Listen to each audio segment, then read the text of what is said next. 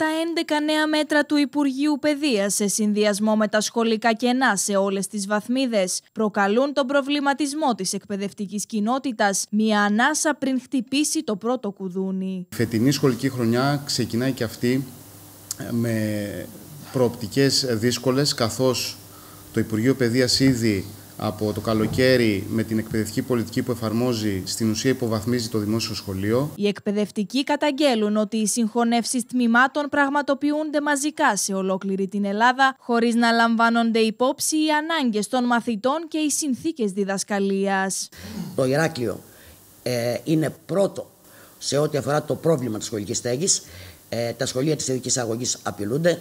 Ε, στηβάζονται μαθητές 30 στα τμήματα στο κέντρο της πόλης ενώ οι σεισμόπληκτες περιοχές του Αρκαλοχωρίου, παραδείγματος χάρη, μένουν στη μοίρα τους και στηβάζουν τα παιδιά σε κοντέινερ. Η κυβέρνηση να πάρει πίσω αυτό το μέτρο α, και να α, και αυτό που ζητάμε είναι ε, μείωση του αριθμού ε, των, των μαθητών ανατάξει. Κοινωνικό πρόβλημα και η κατάσταση των αναπληρωτών καθηγητών. Εκατοντάδες καθηγητές συνεχίζουν να εργάζονται προσωρινά περιφερόμενοι από σχολείο σε σχολείο ανά την Ελλάδα, χωρίς να έχουν σταθερότητα στη ζωή τους. Με έναν πενιχρό μισθό αναγκάζονται να μετακινούνται συνεχώς, αναζητώντας στέγη και προσπαθώντας να επιβιώσουν σε αντίξωες συνθήκες. Με την ανάγκη έβρεσης στέγης ε, για όλους τους ε, εκπαιδευτικούς που μετακινούνται, ε, με ένα συντονισμό ανάμεσα στους εκπαιδευτικούς και στους γονείς για να ανατραπεί αυτή η πολιτική.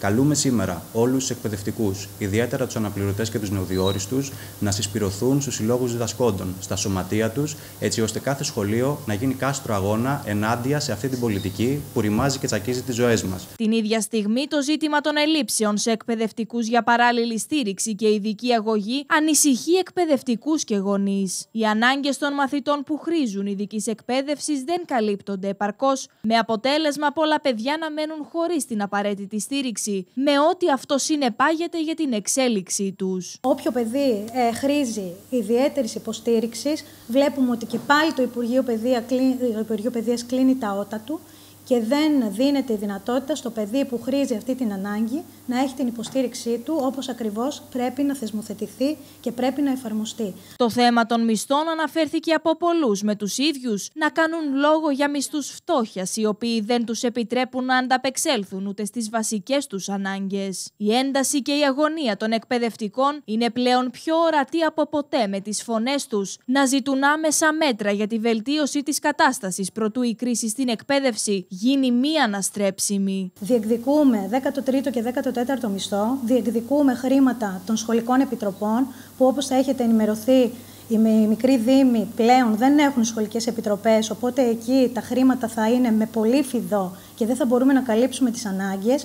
Όταν ένας αναπληρωτής αμείβεται με 900-950 ευρώ ή ο πρωτοδιόριστος με τις αυξημένες κρατήσεις στα 800 ευρώ, καταλαβαίνουμε όταν του ζητούν πάνω από το 50% του μηνιαίου εισοδήματος για νίκιο ότι αυτό, με αυτό τον μισθό δεν μπορεί να επιβιώσει ε, στοιχειοδός. Δεν καταλαβαίνετε με τις συνθήκες αυτές που ε, τους καλούν να ζήσουν ε, μακριά από το σπίτι τους ε, με 776 ευρώ ο διόριστος, με 900 ευρώ ο αναπληρωτής, που είναι πάρα πολύ δύσκολο. Άρα λοιπόν αναγκάζονται και παρετούνται οι συνάδελφοι.